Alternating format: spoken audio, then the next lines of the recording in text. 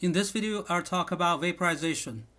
Vaporization is the transition from the liquid state to the gas state. There are two types of vaporization. One, evaporation. Evaporation may occur at any temperature. Two, boiling of a liquid. Boiling occurs only at the boiling point, but the boiling point of a liquid does depend on the external pressure. Under 1 atm pressure, water boils at 100 degrees Celsius, but on top of the Mount Everest, the pressure is lower and water boils at 71 degrees Celsius. I made a video about the relationship between the boiling point and the elevation. So there's 1 degree Celsius boiling point decrease per 1000 feet elevation for example, the elevation of Ellensburg is 1500 feet. Therefore, the boiling point of water is 1.5 lower than 100 degrees Celsius. Therefore, we know the boiling point of water in Ellensburg is roughly 95.5, 98.5 degrees Celsius. And now you can actually estimate the elevation of Mount Everest. So 71 is 29 lower than 100. Therefore, the elevation of Mount Everest is 29,000 feet.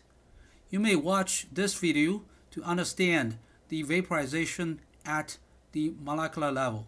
It's a 6 minute video.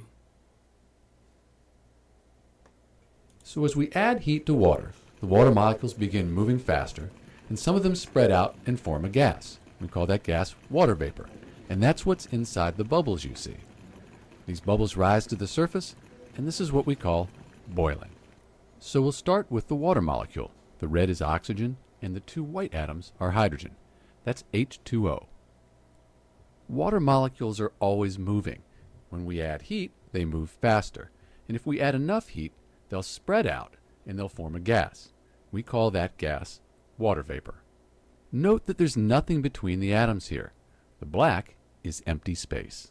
To understand why bubbles form during boiling, imagine a group of water molecules, and as you add heat, some of them spread out and form a gas, water vapor. When they spread out, they push the molecules around them away, and that forms the bubble that you see. That bubble rises to the surface, that's boiling. Remember, there are only water molecules in those bubbles. They're very energetic water molecules in the form of a gas, which we call water vapor. Boiling depends on the amount of pressure around the liquid. On Earth, the atmosphere is what creates this pressure. If we look at a cross section of the atmosphere, only 50 kilometers has enough air for humans to breathe. The pressure also decreases as we go higher. That's because as we go higher in the atmosphere, there are fewer air molecules. Like all matter, air has mass, and gravity pulls it towards Earth. That's why the atmosphere doesn't just drift away into outer space. The weight of the air above us pushes down due to gravity, and this creates atmospheric pressure. The more air above you, the more pressure, and pressure makes it more difficult for boiling to take place. Think of it like these books. The more books, the more pressure. And the more pressure, well, eventually, it'll crush the can. When you go up a mountain, there is less air above you pushing down, and the pressure is lower. Your ears can pop, and water boils at a lower temperature than it would at sea level. So back to boiling. Boiling happens when water molecules have enough energy to spread out and to form bubbles. These bubbles rise to the surface and they release the water vapor. Since the water vapor contains these more energetic molecules, releasing them into the air cools the water. So here we have our beaker with the bubble. If we increase the pressure, the molecules in the bubble will move closer together and eventually they'll change back into liquid water. Alternatively, if we decrease the pressure, that makes it easier for those water molecules to spread out and form a bubble, and that's boiling. We can see this with the syringe. We push in the plunger, we increase the pressure, molecules move closer together and the bubble becomes smaller. When we pull the plunger out, we're decreasing the pressure. That means those molecules can spread out more easily and the bubble grows. If we pull the plunger out and decrease the pressure enough, water will start boiling. Note that the temperature doesn't change. It doesn't get hotter when it boils. It's just that there's low pressure, the molecules can spread out to form bubbles, and that's what we see happening here. Boiling is strongly influenced by the atmospheric pressure. On Earth, that pressure is created by gravity pulling air molecules down towards Earth. Those air molecules push on a liquid and they can make it more difficult for boiling to take place. Remove the pressure, and it's easier for boiling to take place as the more energetic molecules spread out and form bubbles. Note that we haven't talked about the pressure created by molecules of water escaping the liquid. That's called vapor pressure and the subject of the next video. We know that boiling is strongly influenced by atmospheric pressure. Pulled down by gravity, the air above us creates pressure, and that makes it difficult for bubbles to form and boiling to take place. We can think of atmospheric pressure as the collisions of air molecules against the surface of the water. That's the pressure. The more collisions, the greater the pressure. But water molecules can create pressure when they leave the liquid. As these faster moving water molecules escape, they collide with the molecules of air. This creates pressure, and we call it vapor pressure. In a way, the water molecules are pushing or colliding against the air molecules. This reduces the amount of pressure felt by the water. Back to boiling. Textbooks often state that when the vapor pressure equals the atmospheric pressure, boiling takes place. This is called the boiling point. Think of it this way atmospheric pressure pushes down, and that makes it difficult for the water molecules to spread out and form a bubble. But when the vapor pressure increases, molecules from the liquid escape and they push against the air molecules and effectively reduce some of the pressure. This makes it easier for the liquid molecules to spread out, form a gas, and to rise to the surface. That's boiling. We can make boiling happen by either increasing the vapor pressure or decreasing the atmospheric pressure. Either way, once the vapor pressure and the atmospheric pressure are equal, we've reached the boiling point and boiling can begin. One last thing. Different substances have different vapor pressures, and therefore they have different boiling points. This has to do with how strongly the molecules are attracted to each other in the liquid. The more strongly they're attracted, the less the vapor pressure, and it's more difficult to boil. Therefore, the higher the boiling point. All right, let's get back to this document. Two new concepts volatile versus non volatile Liquids that vaporize easily are volatile. For example, rubbing alcohol, ethanol, and even water is usually considered volatile, even uh, with a, a, little bit higher boiling. And um, uh, liquids that do not vaporize easily are non volatile. For example, vegetable oil, motor oil. So, what you can do is you can put one drop of rubbing alcohol uh, on your hand, and then one drop of vegetable oil on the other hand. And you'll see uh, rubbing alcohol is going to vaporize within three minutes. Uh, the vegetable oil um, probably will take three days to completely um, vaporize. Volatile liquids have lower boiling point than, than non-volatile liquids. Uh, for example, if we have the same pressure, let's say 1 atm pressure, water has a higher boiling point than rubbing alcohol, therefore water is less volatile than rubbing alcohol. Water has a lower boiling point than vegetable oil, and we say water is more volatile than vegetable oil.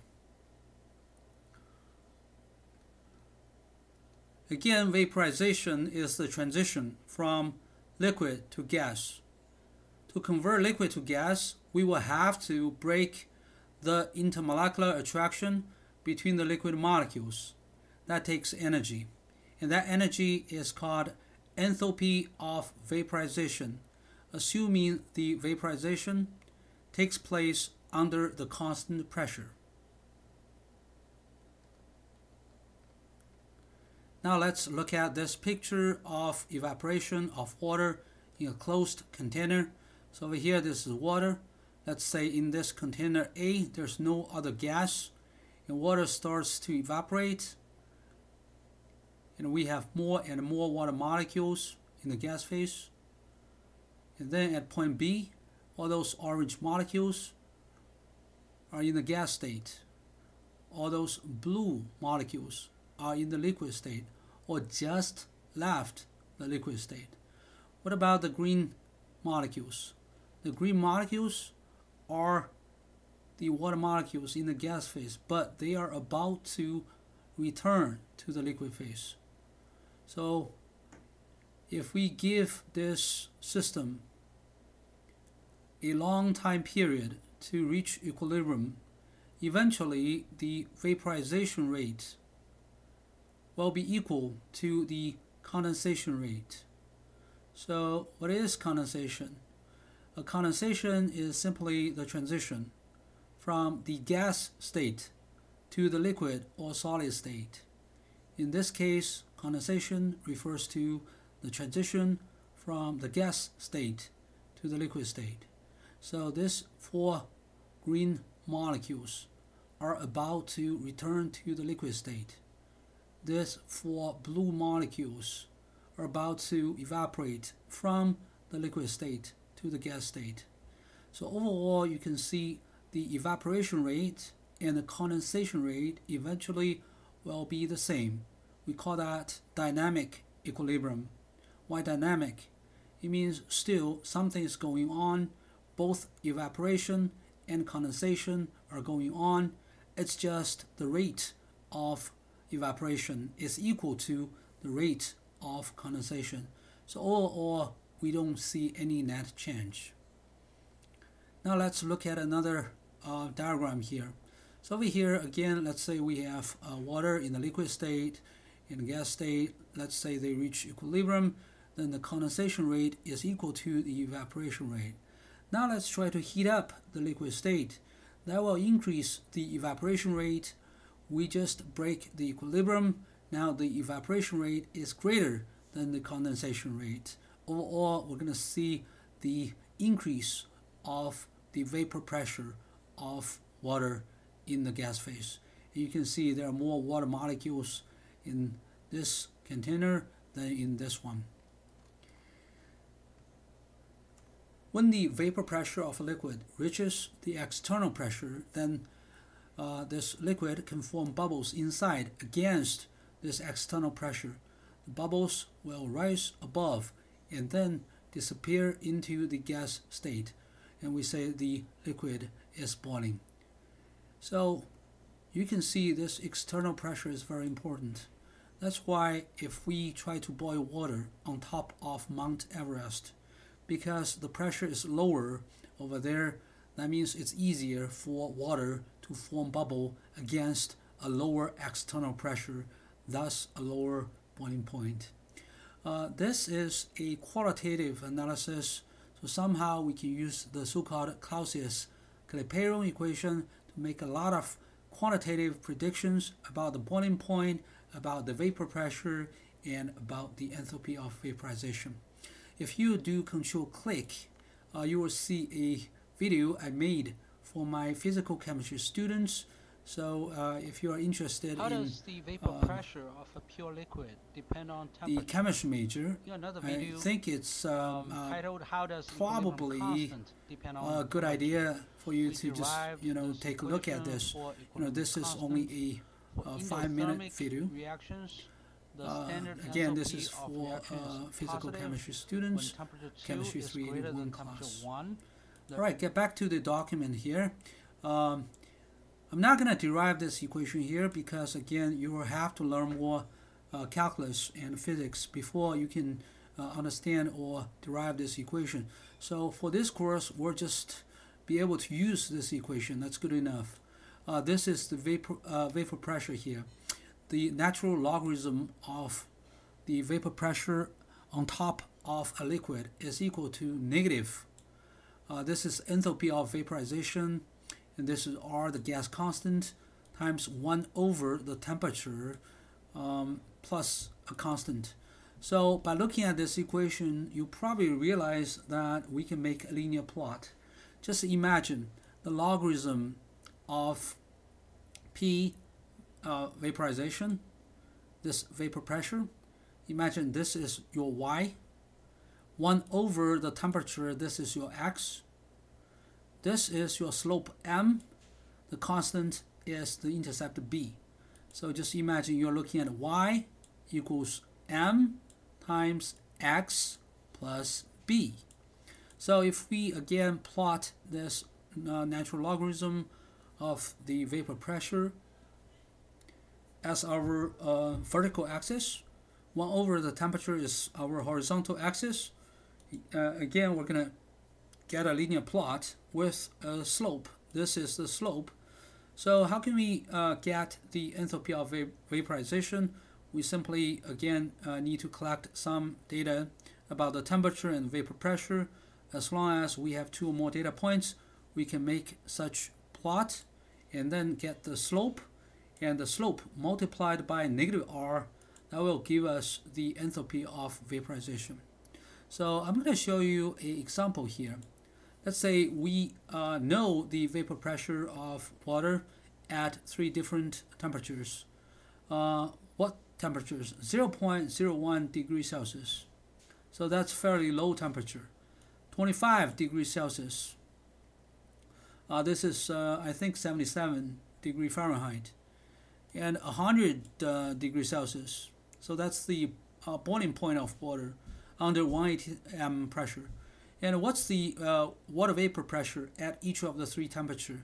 Uh, I give you these three numbers here in atm. So make sure that you know 1 atm is equal to uh, 101,325 pascals. So I'm going to show you the Excel plot I made first, and then I'll show you how to make it. Uh, we need a Excel plot with this LMP as the y-axis. 1 over temperature is the x-axis. And then the reason I say P over 1 ATM is because it is wise not to take the logarithm of a unit. So if I ask you what's uh, log, uh, the natural logarithm of uh, 1 ATM, you probably want to answer it's 0, but uh, 1 ATM is uh, 1001, uh, 101,325 pascals. And then if I ask you what's the logarithm of 101,325 pascals, and then you get stuck because uh, I'm telling you the same pressure just in different units.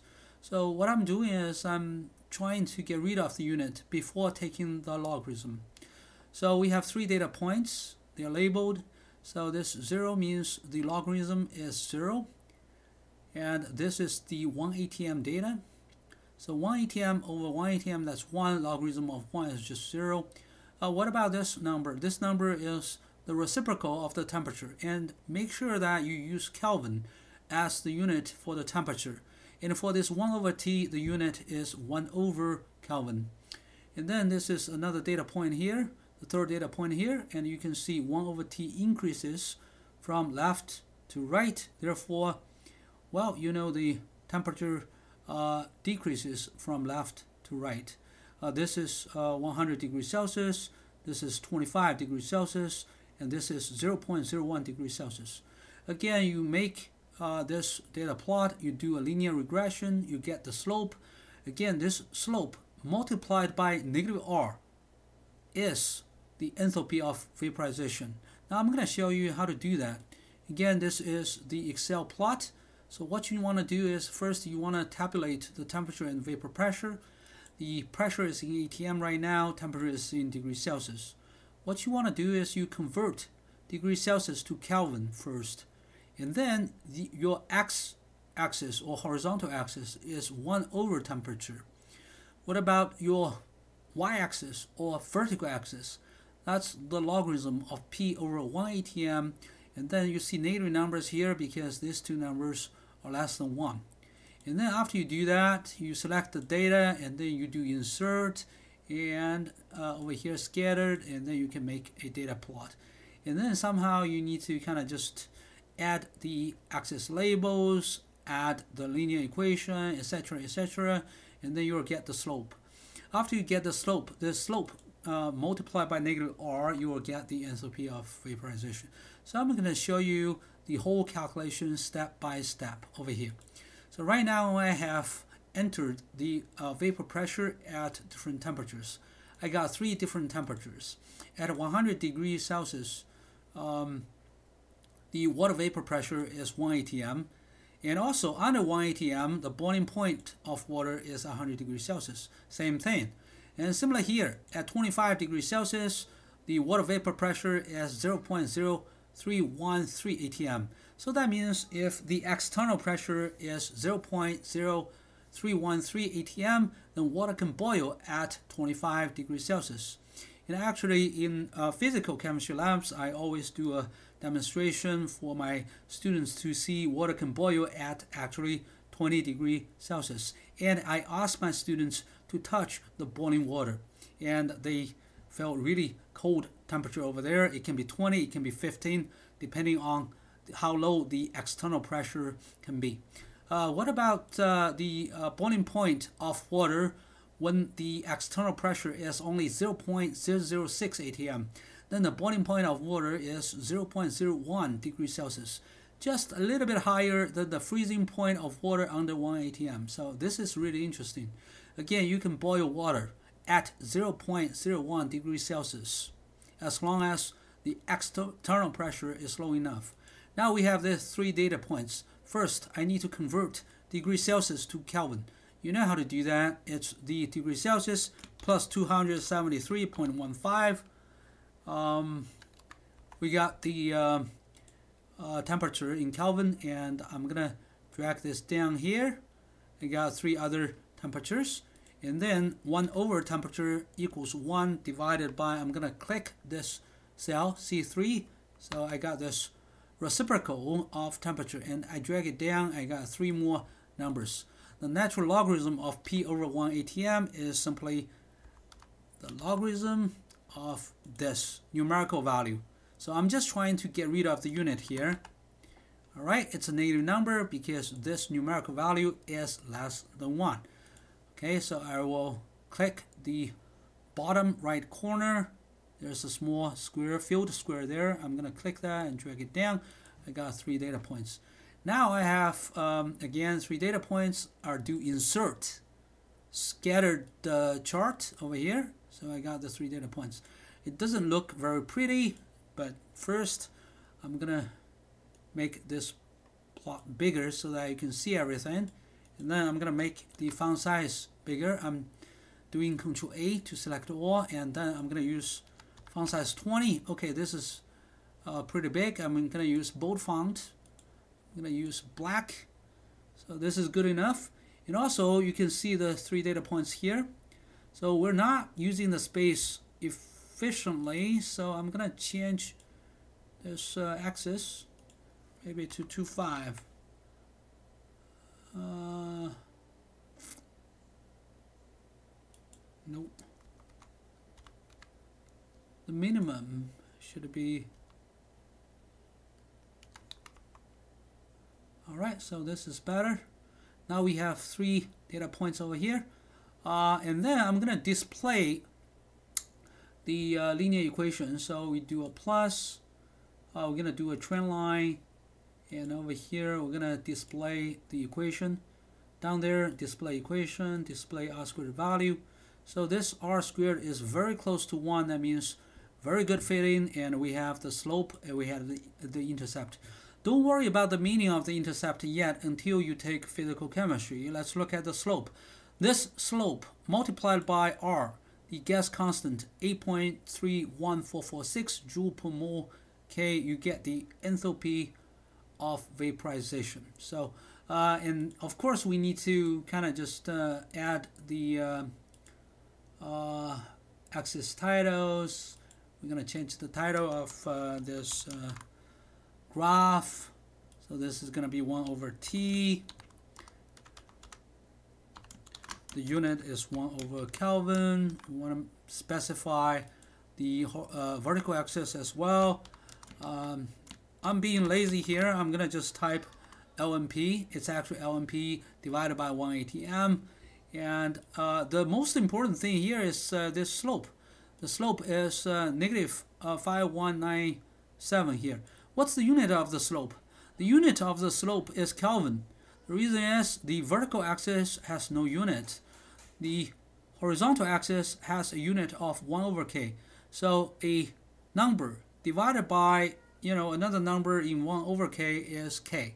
So maybe I should uh, just be more kind of just uh, diligent ATM here. So this is just to remind you, we're not taking the logarithm of 1 ATM, we're taking the logarithm of 1. Uh, so this 1 ATM divided by 1 ATM is 1. We're dividing this 0.03 ATM by 1 ATM to get a numerical value of the pressure. So again, do not take the logarithm of a unit. So now we have the slope. The slope is negative, uh, 5197. Uh, and also there's another way to get slope without making any graph. So it just equals slope. If you are familiar with Excel, you know this function already. And then what you need to do is you just highlight the y value. I am holding down the um, control button. This is my value. And then followed by a comma. And then 3x value. And then uh, the right parenthesis. Okay, I got the same slope. So really, you don't even need to make the graph to get the slope. What's the enthalpy of uh, the vaporization? Uh, that's just the slope. The slope times, okay, this is very important. Negative r, it's not r, it's negative r. So what I'm going to do is I'm going to enter negative ideal constant, which is 8.31446 joule per mole. In Excel, you can't enter the unit. It's not going to do the calculation if you enter the unit. So I'm just doing some numerical calculation here. But I know the unit is joule per mole because I was using um, as a unit here. Uh, this is joule per mole. Um, we can convert it to kilojoule per mole, which is simply joule per mole divided by 1000. All right, so now we have the enthalpy of vaporization of water, which is 43 kilojoule per mole. Uh, we can also use, you know, two other data points uh, to do hand calculation. Let's say uh, we can use this two data points to do hand calculation to get the enthalpy of vaporization. We can also use uh, this two or maybe the first and third one to do hand calculation without making the uh, Excel plot. Without using the Excel slope function, we can also uh, do hand calculation to get the enthalpy of vaporization, but uh, I'll get back to this a little bit later. Uh, so over here, again, you see this uh, data plot in my Word document file. Again, both the Word document and the Excel plot are uploaded to Canvas for you to use.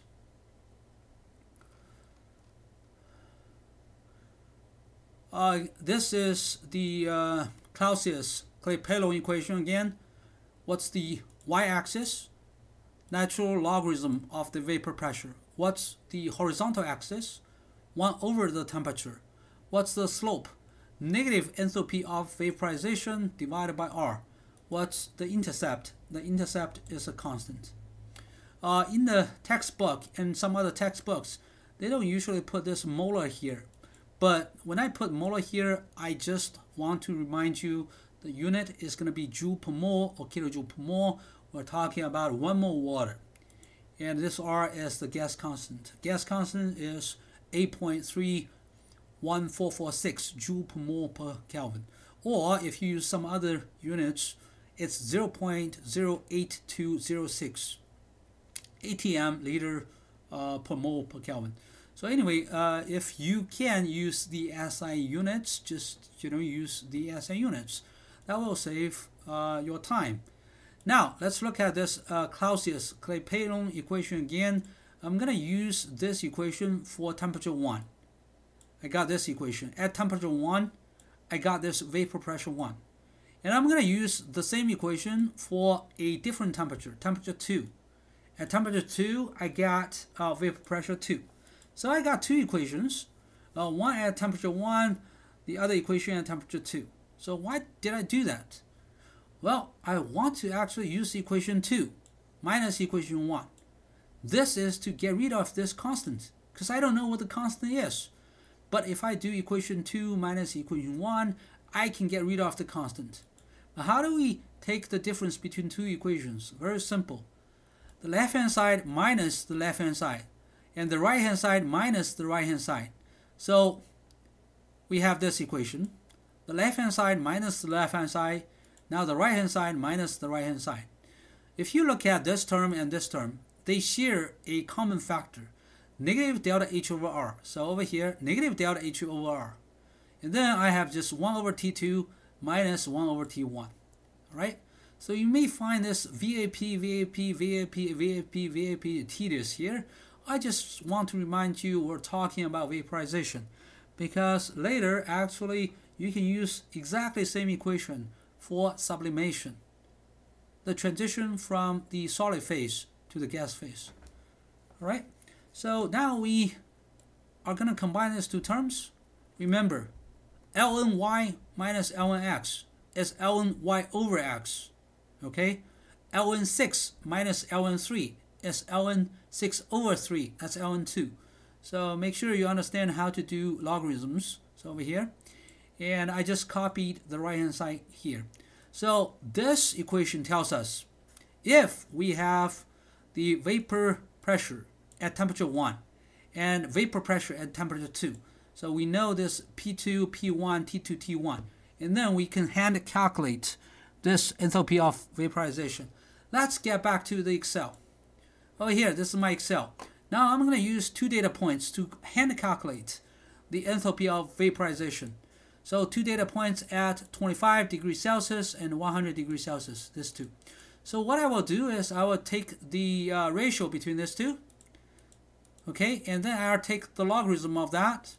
And then I'm to divide that, you know, by what? By the difference between 1 over t. So fortunately, I got those lnP here. I got 1 over t here. So over here, I'm to do this. lnP2 over P1. L1P2 over P1. That's on top. And then divided by 1 over T2. So this guy. Minus 1 over T1, this guy. Alright? And then we get a negative number. This is not the enthalpy of vaporization. Remember, when we do ln P2 over P1, divided by 1 over T2 minus 1 over T1, we will get negative enthalpy of vaporization divided by R. So we need to multiply the number we just got by negative R. So over here, we're going to just do this. We're not done yet. Times negative R. R is the gas constant. Its value is 8.31446 joule per mole Kelvin. You can Google this number. Just Google ideal gas constant. All right, and we're not done yet. This is a big number, uh, so people usually use kilojoule per mole instead. All right, you got 42.7 kilojoule per mole. This is the enthalpy of vaporization using two data points at 25 degrees Celsius and 100 degrees Celsius. You may wonder why this number is slightly different from this number. Actually, the enthalpy of vaporization depends on the temperature a little bit. Usually the higher the temperature, the lower the enthalpy of vaporization. The lower the temperature, the higher, the greater the enthalpy of the vaporization. At 100 degrees Celsius, I think the enthalpy of vaporization of water is uh, 40.7 kilojoule per mole. At 25 degrees Celsius, it's 44 kilojoule per mole. So you can see the difference from 25 to 100 degrees Celsius. The enthalpy of vaporization changes from 44 to 40.7 kilojoule per mole. So uh, now let's use two other data points to do uh, the hand calculation of the enthalpy of vaporization. Again, equal sign. What I will do is I will do uh, lnP2 minus lnP1 here. So this guy minus this guy. Okay, again, lnP2 minus lnP1 is equal to lnP2 over P1. That's just a simple logarithm operation. divided by the difference between these two reciprocal. So this guy minus this guy. Right? Again, it's a negative number because we need to multiply this by the gas constant over here. Oh, I'm sorry. I, I think I used the wrong data. Over here, I wanted to use zero degree data. So I'm going to make a little bit change here. Cell E3, that's zero degree Celsius data. Okay. So you see uh, we got this uh, number in joule per mole and then this number divided by 1000 we got 43.3 uh, kilojoule per mole. So on average, the enthalpy of vaporization between 0 and 100 degrees Celsius is 43.3 kilojoule per mole. Again, the lower the temperature, the greater the enthalpy of vaporization.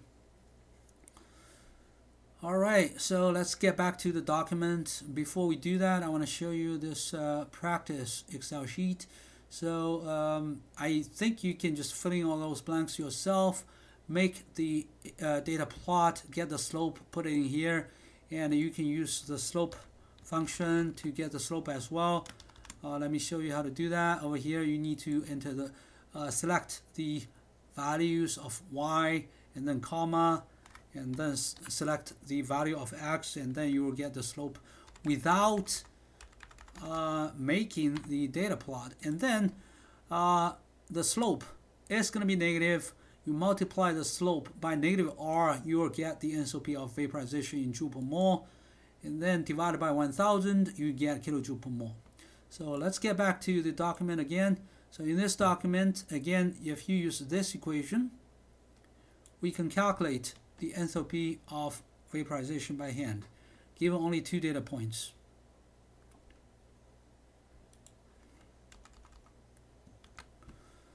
Uh, finally, the last paragraph of this video uh, are talk about supercritical fluid.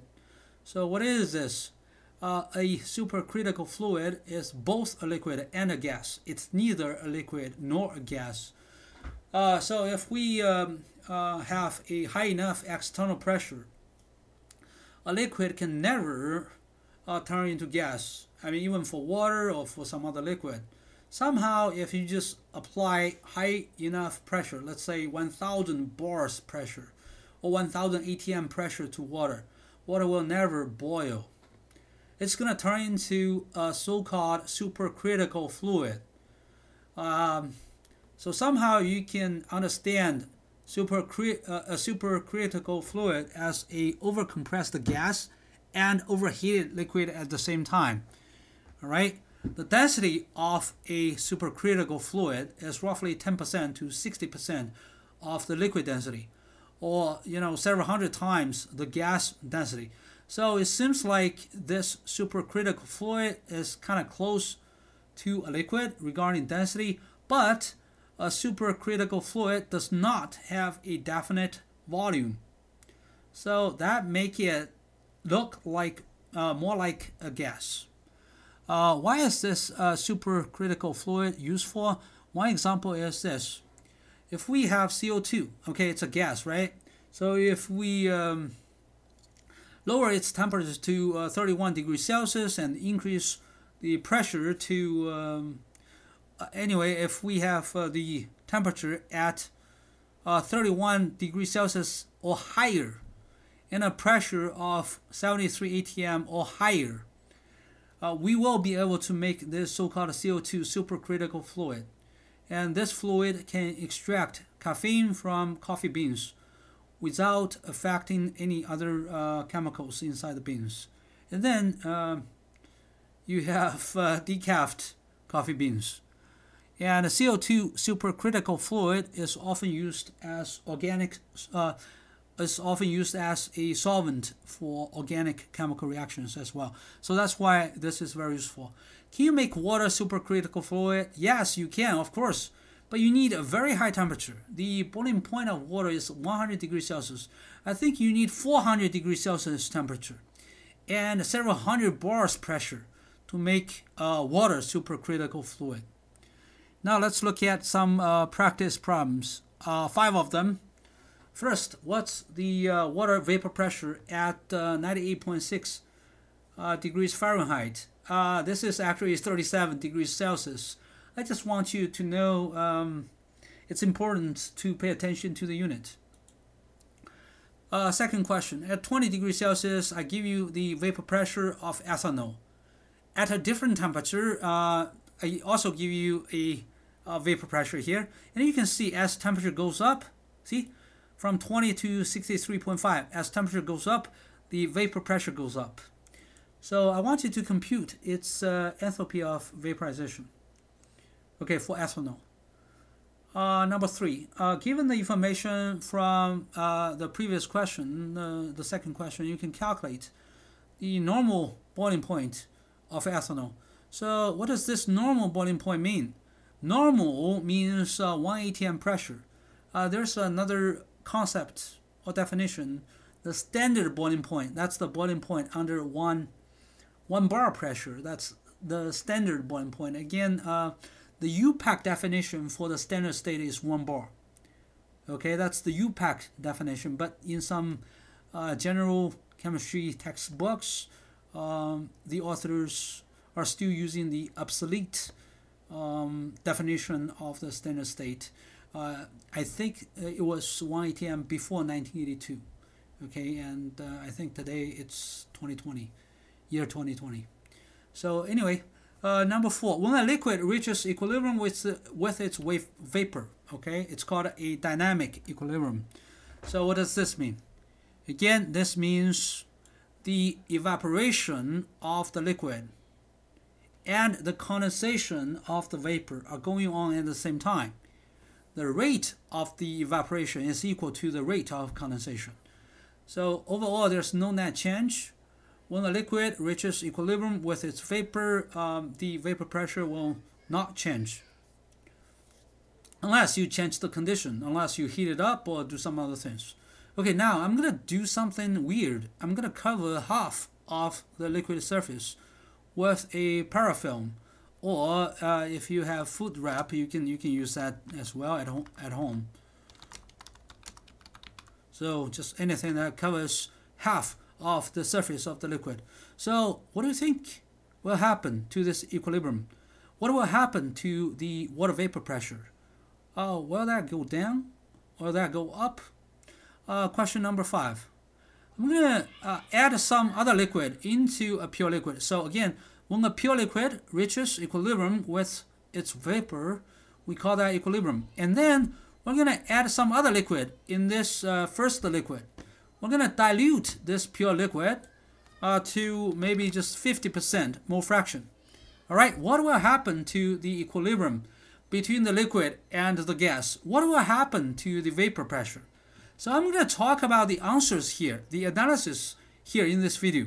So, but I highly recommend you to um, kind of just pause the video, uh, take a look at the uh, five questions. So, for example, you can pause right here think about questions one, two, three, and then pause it here. Think about uh, questions 4 and 5 before you continue watch the video.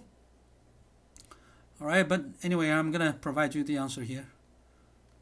The answer is here what's the water vapor pressure at 98.6 degrees Fahrenheit the answer is 0.0639 atm I'm gonna show you how I did this problem I did not do the calculation myself. I used this website, Wolfram Alpha. So I'm gonna do control click to take you to this website. All right, and I'm gonna make it a little bigger. And you can see I just typed up this equation here, and then I click this equal sign.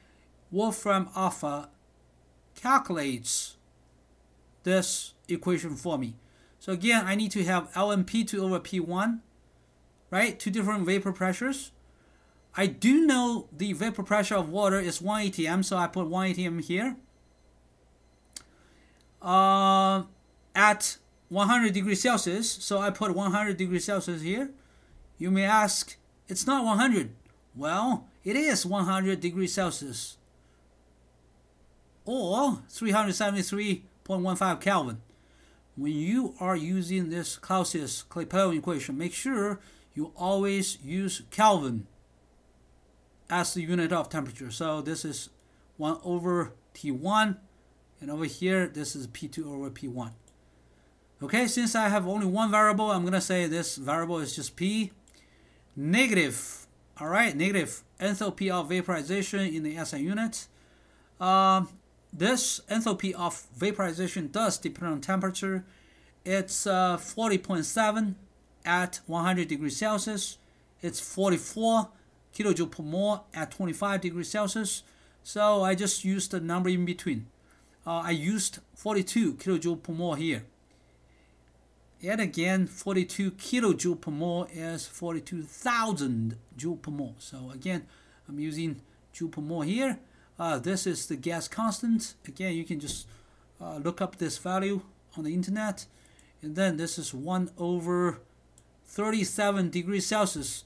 I converted 98.6 degrees Fahrenheit to degrees Celsius. That's 37, the normal body temperature of a human being, and then plus 273. So over, over here, you're looking at 1 over T2 minus 1 over T1. Over here, you're looking at ln P2 over P1. And this is negative enthalpy of vaporization over R. All right, again, I mean, if you just uh, click this equal sign, Wolfram alpha we'll compute this equation. It will show you this equation in a more clear format here. So T2 1 over T2 minus 1 over T1. Over here, logarithm of P2 over P1. Over here, this is negative enthalpy of vaporization over So again, if you uh, scroll down, you will get the pressure in ATM because I used ATM for this number 1 here. This is 1 ATM. Therefore, this P should be in ATM. 0.0639 ATM, that's the answer. Again, I'm going to show you this equal sign here. Uh, Wolfram alpha is thinking, and then you get the answer here. All right, so get back to this. This is the answer 0.0639 ATM. This is higher than the water vapor pressure at 25 degrees Celsius because this is a higher 37 degrees Celsius. Now, I'm going to ask you to compute the enthalpy of vaporization of ethanol by giving you two data points. The first data point, 20 degrees Celsius, the vapor pressure is 5.95 kilopascal. Okay, at a higher temperature, 63.5 degrees Celsius, the vapor pressure is higher, 53.3 kilopascal. Now let's compute the enthalpy of vaporization. The answer is here, but I'm going to show you Wolfram, Wolfram alpha again. Wolfram alpha, I type it up the equation. This time the only variable is enthalpy of vaporization. So this is my lnP2 over P1. Okay, make sure you use the same unit for these two numbers. Okay, so this number is in kilopascal. This number is also in kilopascal. So these two units may cancel. And then how about this part? This part is 1 over T2 minus 1 over T1. My temperature 1 is 20 degrees Celsius. All right, convert this to Kelvin, please. And then my T2 is 63.5 degrees Celsius. Convert it to Kelvin, please. And then this is 1 over T2 minus 1 over T1. If you're not sure, use many pairs of parentheses. And then what's the slope? Or what's the coefficient in front of 1 over T2 minus 1 over T1? It's negative enthalpy of vaporization over R. Alright, so I'm just lazy. I'm just putting X here. X is my enthalpy of vaporization in the SI unit. So let's look at the answer here. Oh, first, this is the expression of the Clausius Clapeyron equation. The natural logarithm of P2 over P1 equals negative enthalpy of vaporization over R, the gas constant, times 1 over T2 in Kelvin minus 1 over T1 in Kelvin. And then the answer is over here, okay, 41 kilojoule per mole. Uh, this number is in joule per mole because both joule and mole are the SI units. Kilojoule is not an SI unit, but why do we always say kilojoule per mole for enthalpy of vaporization? Because this number is pretty big. It's easier to say 41 kilojoule per mole than 41,000 joule per mole. So anyway, the answer is 41.36 kilojoule per mole. And I want to show you how to do the calculation. You type this up, you click equal sign, and Wolfram Alpha will produce the result in a second. All right, get back to this. This is my answer over here. Pay attention to the unit. This is kilojoule. All right. Uh, given the information from this question, calculate the normal boiling point of ethanol. The answer is 78.8 degrees Celsius. So how can we do that? Look, we just need to use this information, enthalpy of vaporization, to get the normal boiling point of ethanol. All right, so when the external pressure is 1 atm, we need to heat up this liquid ethanol so that its vapor pressure reaches 1 atm. So the question is simple. At what temperature will the vapor pressure of ethanol reach 1 atm? All right, we have this uh, enthalpy of vaporization here. And then we can either use this data point or use this data point, either one, or do the calculation. Now I'm going to click Wolfram Alpha again uh, and show you this uh, Clapeyron, uh, Clausius Clapeyron equation. Okay, so you type this up in this text box, you click this equal sign, you will get the result. But I want to show you this format. This is a better format. Uh, this LEG, LOG log, this is actually natural logarithm, okay, in Wolfram Alpha. P2 over P1. My P1 is 1 ATM. Okay. Uh, this is the normal pressure. 1 ATM pressure is equal to 101 325 pascals. So if you uh, are curious, again, you can just Google all these numbers uh, from the internet or you can find them in your textbook. And I'm going to use actually the data point at 63.5 uh, degrees Celsius. The uh, vapor pressure is 53.3 kilo pascal. So this is uh, 53,300 pascal on top. And this is uh, in degrees Celsius. I convert it to Kelvin. And then 1 over T2 minus 1 over T1. This is logarithm of P2 over P1, both in pascals. So make sure you use the same unit for both vapor pressures. Over here, this is negative enthalpy of vaporization over R. How did I get this? This is from question 2. Alright, and then I just click equal sign. You will get uh, 78.8 over here. And um, you should understand the unit for this should be degrees Celsius because uh, when I define this variable t, I'm using t plus 273 here. Therefore, t by itself is in degrees Celsius. T plus 273 is in Kelvin. So again, I just got the uh, boiling point of ethanol in degrees Celsius. All right, question four. Uh, when a liquid reaches equilibrium with its vapor, what will happen if we cover half of the liquid surface? Nothing will happen. It's kind of strange, but um, if you cover half of the liquid surface, you will reduce the condensation rate and the evaporation rate simultaneously by uh, the same percentage, 50%. So it is still an equilibrium. And I want to uh, emphasize that this is a um, dynamic equilibrium. So both condensation and evaporation are going on. It's just the rate of condensation is equal to the rate of evaporation. After you cover half of the liquid surface, both rates are reduced by 50%. Okay, question 5. When a liquid A reaches equilibrium with its vapor, now I'm going to add another liquid B into A. So what will happen to this equilibrium? Okay, if we add B to A, just imagine, you know, 50%, 50%, let's say now I have uh, uh, 50 molecules of A and 50 molecules of B uh, in the beaker. On the surface, now you're not going to have the same number of A's on the surface. You're going to have only half of the number of uh, A molecules this time. All right, that will reduce the evaporation rate by 50%. Okay, because again, only surface molecules can evaporate.